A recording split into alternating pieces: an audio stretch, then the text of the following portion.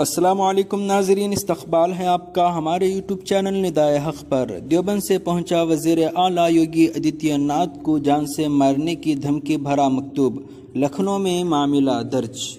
मौसूला खबर के मुताबिक गुज्त रोज़ एक लेटर के ज़रिए वज़ीर अला योगी आदित्यनाथ और किसान मंच के कौमी सदर देवेंद्र तिवारी को जान से मारने की धमकी दी गई है। लेटर अन्नाऊ के डाक खाने से लेटर अन्नौ के डाक खाने से जारी हुआ है, जिसमें मोहम्मद अजमल और पता देवबंद का तहरीर किया गया है, जिसमें जान से मारने की धमकी दी गई है, उसका इंकशाफ देवबंद पहुँचने के बाद हुआ है।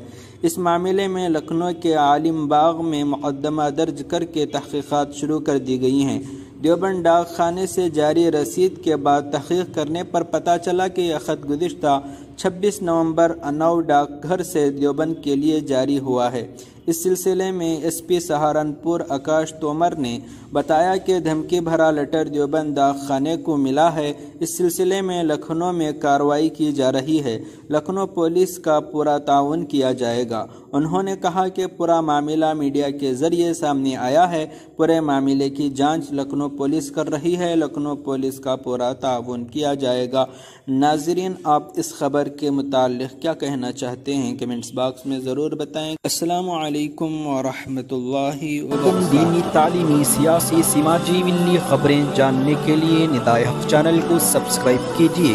बेल आइकन पर क्लिक करने से आपको हर नई वीडियो आसानी के साथ पहुँच जाएगी। शुक्रिया।